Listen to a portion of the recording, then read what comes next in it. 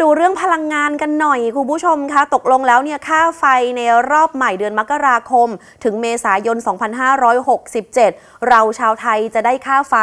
หน่วยละกี่บาทกันแน่ เพราะตอนแรกทางกกพนะคะเขามีมติออกมาแล้วว่าน่าจะต้องปรับขึ้นไปอยู่ที่ 4 บาท 68 สตางค์ต่อหน่วย ก็คือทางคณะกรรมการกำกับกิจการพลังงาน มีสัญญาณออกมาก่อนหน้านี้จากรัฐมนตรีพลังงานพอมีคนไปถามว่าตกลงว่าจะเป็นราคานี้จริงหรอท่านก็บอกว่าเอาล่ะเดี๋ยวจะดูให้ ก็ต่อรองมาสักเหลือ4บาท 20 สตางค์ได้ไหม ล่าสุดก็เป็นท่านนายกออกมาพูดนะคะว่า จะพยายามคุยกัน และจะให้ได้ประมาณสัก 4 บาท 10 สตางค์ต่อหน่วยใช่ค่ะถูกไหมคะ ตอนนี้ทั้งทั้งรองนายกทั้งรัฐมนตรีพลังงานนะคะ โพสต์ใน Facebook บอกว่าเดี๋ยวเตรียมเสนอคอรมอว่าเอาละ3บาท 99 สตางค์เหมือนเดิม แต่อาจจะได้เฉพาะในกลุ่มเปราะบางนะคะ คุณพีรพันธ์สาลีรัฐวิภาคค่ะ รองนายกรัฐมนตรี และรัฐมนตรีว่าการกระทรวงพลังงาน โพสต์ใน Facebook บอกว่า เตรียมจะเสนอคอรมอตรึงราคาค่าไฟอยู่ที่ 3 บาท 99 สตางค์ต่อหน่วย ให้สำหรับกลุ่มเปราะบางนะคะ ส่วนราคาก๊าซหุงต้มก็จะตรึงราคา 423 บาทต่อถัง 15 กิโลกรัม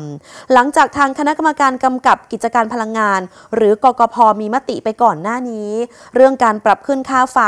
งวดมกราถึงเมษายน 2567 มติเนี่ยอยู่ที่ 4 บาท 68 สตางค์ต่อหน่วยแล้วก่อนหน้านี้อะค่ะ คุณพีรพันธ์ได้พูดถึงผลการประชุม ของคณะกรรมการบริหารนโยบายพลังงานหรือว่ากบง มีมติเห็นชอบให้คงราคาขาย เป็นราคาขายส่งก๊าซปิโตรเลียมเหลวนะคะ หรือว่า LPG ที่หน้าโรงกลั่นอยู่ที่ 20 บาท 91 สตางค์ต่อกิโลกรัม แล้วราคานี้ยังไม่รวมภาษีมูลค่าเพิ่มนะคะ เพื่อให้ราคาขายปลีกอยู่ที่ 423 บาทต่อถัง 15 กิโลกรัม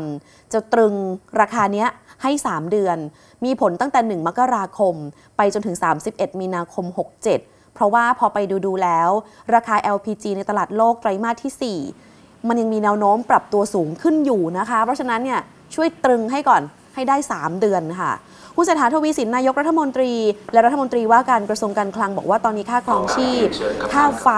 ค่าน้ำมันเรื่องสำคัญมาก ตอนนี้เนี่ยค่าไฟอยู่ที่ 3 บาท 99 สตางค์ต่อหน่วย ถ้าจะปรับขึ้นไป 17%ใช่ไหมคะ เป็น 4 บาท 68 สตางค์ต่อหน่วย นายกบอกรับไม่ได้ค่ะ ราคานี้ เดี๋ยวต้องกลับไปพิจารณาใหม่ ตอนแรกเนี่ยบอกว่า 4 บาท 20 สตางค์ต่อหน่วย ที่น่าจะเป็นไปได้ แต่เดี๋ยวจะพยายาม เพิ่มความพยายามไปให้อีก จะให้ลงไปประมาณสัก 4 บาท 10 สตางค์ต่อหน่วย แต่ก็ต้องไม่ลืมนะคะว่าก่อนที่รัฐบาลเนี่ยจะมีการลดค่าไฟ เหลือ 3 บาท 99 สตางค์แล้วราคาจะไปอยู่ที่ 4 บาท 50 สตางค์ก็ต้องให้ความเป็นธรรมกับทางรัฐบาลด้วยนะคะ นายกบอกแบบนี้แต่ว่าจะพยายามให้ จะกดลงไปให้ได้ 4 บาท 10 สตางค์